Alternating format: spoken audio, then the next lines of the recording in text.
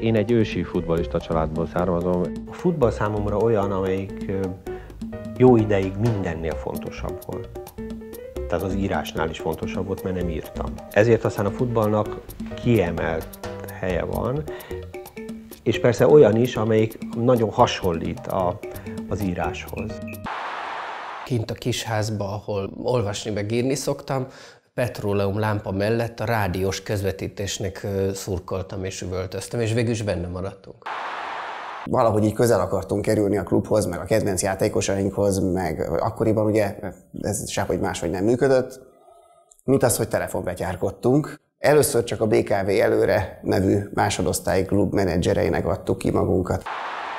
Rengeteg hasonló futballfüggő van, akinek a, a családi naptára és a foci meccsekhez igazodik. Aztán van, akinél esetleg mi nálom olyan extrémebb mértékben, hogy a esküvőnk is félbeszakad egy foci meccs miatt. Kimondtuk a boldogító igent, és kaptam egy SMS-t, akkor játszott a kedvenc csapatom, a Liverpool.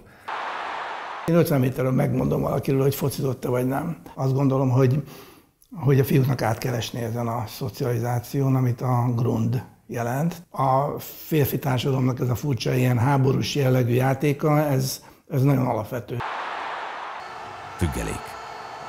Miután Magyarország a várakozásoknak megfelelően puskás lesgyanús góljával megnyerte a világbajnokságot, Magyarországon a politikai elégedetlenség nem öltött határozottabb formákat, a diktatúra megerősödött, elmaradt az 1956-os forradalom, maradt Rákosi, nem lett semmiféle kádárrendszer, se gulyás kommunizmus.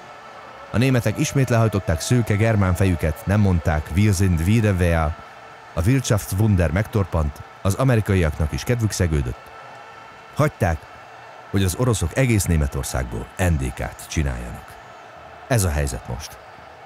E sorok írója börtönben ül, tehát nyilván nem lehet e sorok írója, e sorok csak is akkor vannak, akkor lehetnek, ha e sorok nincsenek.